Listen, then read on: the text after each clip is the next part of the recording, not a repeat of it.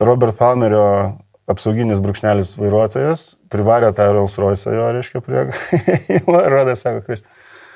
Some help. Ok. Aš už vienos rankos Robertą Palmerį, nes jis įsijungia iš vis. Rod Stewartas už kitos, mhm. Sylas pakviestas buvo mikliai už kojos vienos, tas apsauginis už kitos ir mes į, į galinę sėdynę taip ir įnešėme.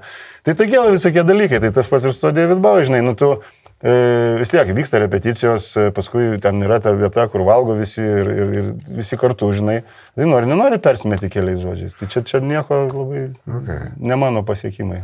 Robert Palmeris tarp kitko, nu, tas jau ko gero didžiausias hitas, man atrodo, jis vadinasi Addicted to Love. Yeah. Ir ten tos merginos gitarom. Tai aš kaip tik vakar mačiau Facebook'o juostoj, o tu Facebook'o neturi, mm. tos penkios merginos. Dar galingesnės, išmanesnės, efektyvesnės.